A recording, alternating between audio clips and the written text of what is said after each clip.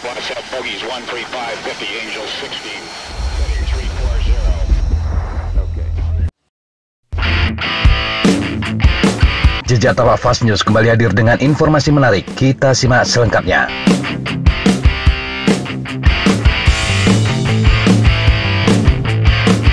Angkatan Laut Rusia kembali melakukan uji tembak rudal hipersonic Zircon. Pengujian berlangsung sukses dengan tepat menghantam sasarannya. Kementerian Pertahanan Rusia Senin 29 November 2021 mengatakan Fregal Admiral Gorskov meluncurkan rudal jelajah Zircon saat berada di Laut Putih dan mengenai target berjarak 400 km. Peluncuran tersebut merupakan yang terbaru dari serangkaian uji coba Zircon yang akan mulai beroperasi tahun depan. Presiden Vladimir Putin mengatakan Zircon akan mampu terbang 9 kali kecepatan suara dan memiliki jangkauan 1000 km. Putin telah menekankan bahwa penempatannya akan secara signifikan meningkatkan kemampuan militer Rusia. Zircon dimaksudkan untuk mempersenjatai kapal penjelajah fregat dan kapal selam Rusia. Ini adalah salah satu dari beberapa rudal hipersonik yang sedang dikembangkan negara tersebut. Kremlin telah menjadikan modernisasi persenjataan negara itu sebagai prioritas utama di tengah ketegangan dengan Barat setelah bergabungnya semenanjung Crimea pada Rusia pada tahun 2014. Sementara Ukraina maupun NATO serta banyak negara lain menyebutnya sebagai aneksasi. Meski pengujian terus berlanjut, Rusia dilaporkan akan segera memulai produksi massal rudal zircon. Produksi dilakukan NPO Masinostroyenia di kota Reutovo, wilayah Moskow.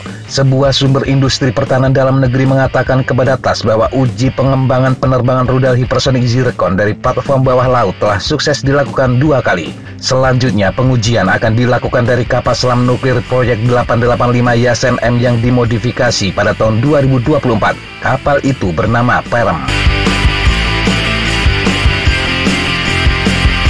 Pada 4 Oktober 2021, kapal selam nuklir Spring menguji coba rudal hipersonik dari permukaan dan posisi tenggelam di Laut Putih untuk pertama kalinya. Seperti yang dilaporkan TAS sebelumnya, kapal selam Perm yang dimodifikasi merupakan kapal selam bertenaga nuklir kelima proyek 885M. Dia akan menjadi pembawa rudal hipersonik Zircon bawah air reguler pertama. Kapal selam itu akan memasuki layanan dengan Angkatan Laut Rusia pada tahun 2025. Galangan kapal Sevmas saat ini sedang membangun enam kapal selam proyek 885. Kapal selam pertama Severodving dan Kazan telah berada dalam layanan dengan Angkatan Laut Rusia. Sementara kapal ketiga sedang menjalani uji coba dan direncanakan untuk memasuki layanan dengan Angkatan Laut Rusia pada akhir 2021 ini.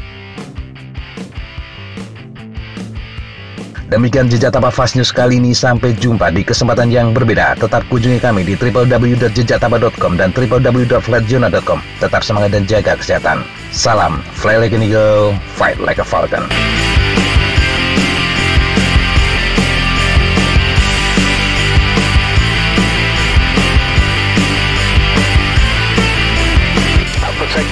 Take today.